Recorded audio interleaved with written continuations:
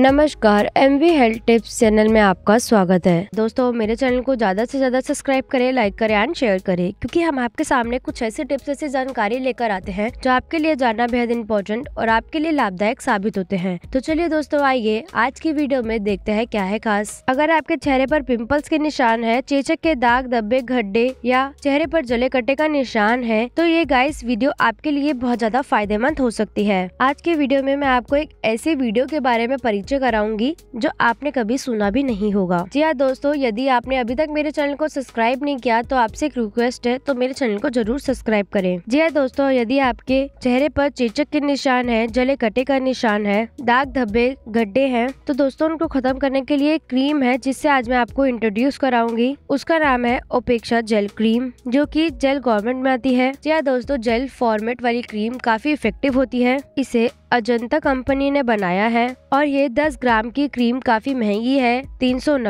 की। इसकी खास बात यह है कि है स्किन टाइप के लिए यूज़ कर सकते हैं और आप किसी भी स्किन टाइप पर इसे इस्तेमाल कर सकते हैं। इसको खरीदने के लिए आप ऑनलाइन भी ट्राई कर सकते हो। अपने आसपास कोई भी मेडिकल स्टोर हो, उसे आराम से खरीद सकते हो। इसको कैसे यूज़ करनी है, इसका क्या फंडा है और आप इसको यूज़ करने का तरीका बता देती हूँ। क्या दोस्तों यूज़ करने का तरीका काफ़ी सिंपल है गाइस चौबीस घंटे में आप इसे सिर्फ़ एक बार इस्तेमाल कर सकते हो। जी हाँ दोस्तों, सोते टाइम इसको यूज़ करना बेहतर रहेगा आपके लिए। सोने से पहले आप इसे अपने चेहरे पर कैसे लगाएँ। जी हाँ दोस्तों सबसे पहले आपको फेस वॉश से फेस अपना क्लीन करना होगा। और आप क्लीन करने के बाद इसको उंगली पर निकाले और वहाँ वहाँ लगाए जहाँ पर आपके निशान है। लगाने के बाद इसे चार से पाँच मिनट सूखने दे ऑब्जॉर्व होने दे अंदर और फिर सो जाए और फिर से आप उठकर अपना फेस वॉश से फेस क्लीन कर ले। इसको आप कंटिन्यू दोहराए। गाइस ये सात दिन में आपको काफ़ी बहुत अच्छा रिज़ल्ट देगी और कुछ ही दिनों में आपके सारे दाग धब्बों को हटा देगी। तो गाइस आप ये क्रीम यूज़ कर सकते हो। अगर आपका कोई और भी क्वेश्चन हो तो आप हमें कमेंट बॉक्स में नीचे कमेंट करके भी पूछ सकते हो।